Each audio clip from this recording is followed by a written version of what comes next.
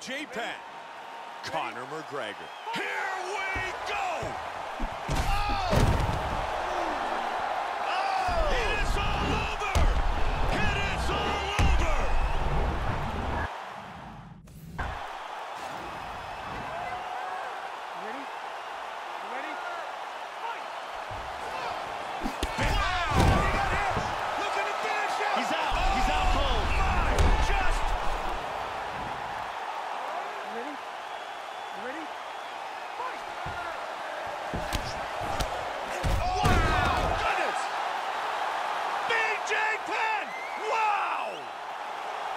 huge hook that got him the victory.